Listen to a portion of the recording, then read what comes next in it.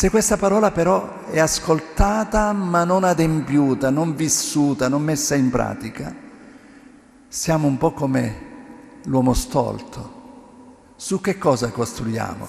Sulla sabbia, non ha consistenza. Una parola che colpisce l'orecchio ma si ferma lì. Non entra, non rinnova, non mette in crisi tanti nostri atteggiamenti. È una parola che non lascia segno, non ci pone in un, in un dialogo, in una intimità, in una forza con il Signore che è la garanzia e l'autenticità della nostra vita.